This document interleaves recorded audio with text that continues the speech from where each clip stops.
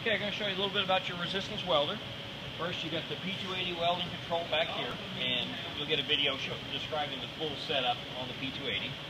You've got your uh, weld nut electrode system here with the stem that is sized for your appropriate uh, weld nuts. Now, currently we're doing the M8s.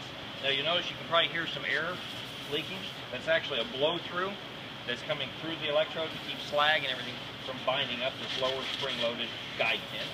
And then this is the water cooling for cooling the outside. Currently we've got the chiller on, so we've got some condensation.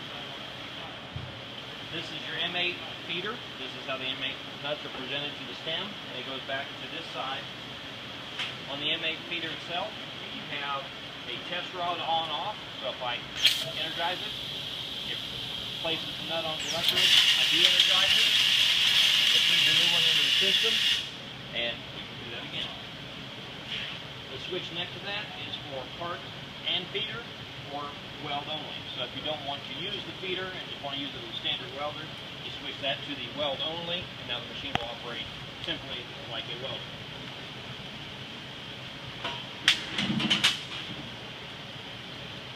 The air is adjusted on the back side of the machine.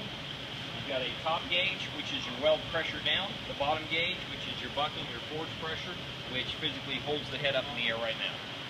So, as an example, I'm going to turn the weld switch off with the E button.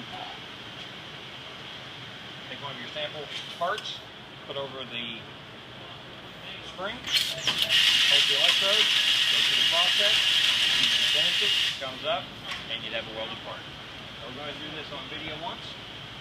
So again, start with your part, step on the foot switch and hold it down. Weld, release, and repeat.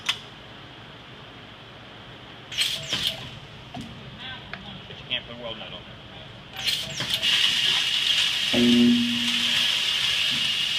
So we'll go ahead and pause here, get set up, and we'll run the rest of them.